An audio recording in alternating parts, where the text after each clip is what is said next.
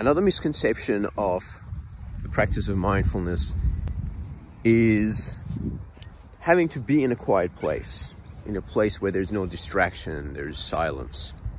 That's another misconception because mindfulness can be practiced anywhere, anytime.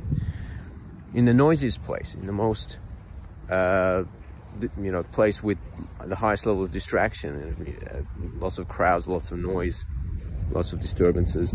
Because the whole point of the practice is to observe what's going on within me and accept it for what it is. Accept whatever thoughts and emotions that are arising.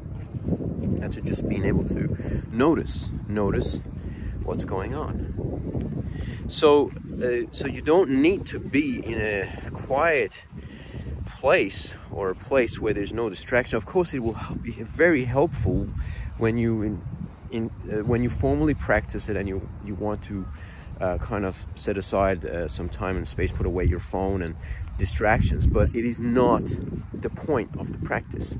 When you cultivate mindfulness, the whole point is to accept the experience as it is right now not as you want it to be. Be able to observe without reaction, without judgment. It's a non judgmental attitude of mindfulness that is the most powerful aspect of the practice. So, next time you want to practice mindfulness, just be aware of what's going on. And don't worry about the distractions, the sounds, the noise, uh, anyone disturbing you, or anything that might happen suddenly, unexpectedly, just be aware of your own inner experience and accept it as it is. I hope that helped. See you next time.